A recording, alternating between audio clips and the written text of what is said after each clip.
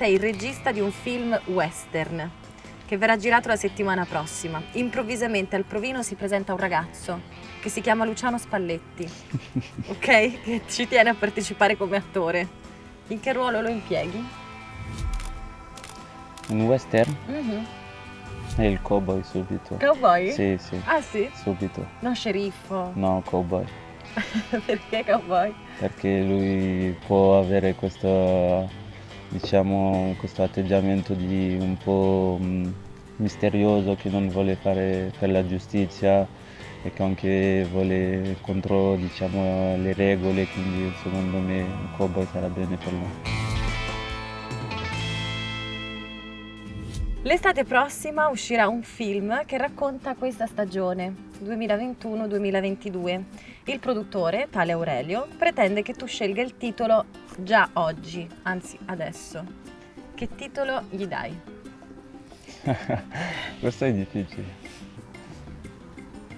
In memoria a Maradona direi. Che bello! Questo è un titolo bellissimo. Penso che sarebbe bello. Oppure con un scudetto Sarebbe, ancora più bello. Sì, sarebbe ancora più bello, è vero. Anche perché Maradona ha parlato benissimo di te. Che effetto ti ha fatto quando ha detto che eri un grande giocatore, che ti avrebbe visto bene al Real Madrid, al Barcellona?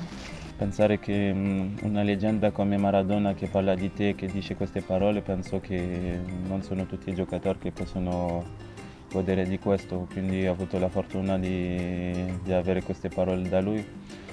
Poi gli ho mandato una maglietta e gli ho detto che lo aspettavo a Napoli e ho, ho avuto la, la fortuna di vederlo contro il Real Madrid e sono stato molto felice. Hai scelto un titolo bellissimo, secondo me, per il film di questa stagione.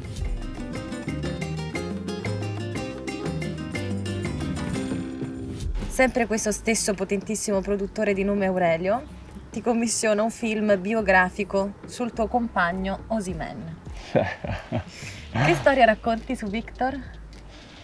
Victor, la storia che potrei raccontare, mh, direi il primo anno suo che è stato molto difficile perché però nessuno l'aspe- l'aspettava a quel livello che ha oggi e che non ha finito di dimostrare, penso che ha ancora tante cose dietro che, che la gente vedrà in questa stagione e le stagioni a venire.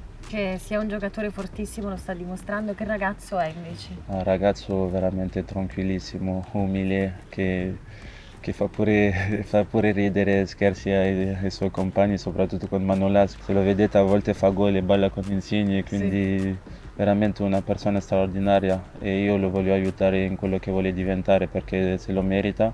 Sempre a, a disposizione di tutti, quella è la bellezza che, che lui fa vedere da fuori. Io gli dico chapeau. Eh, Credo che Spalletti abbia toccato proprio il, il click, il pulsante giusto, no? Per fargli fare quel salto di qualità di cui aveva bisogno.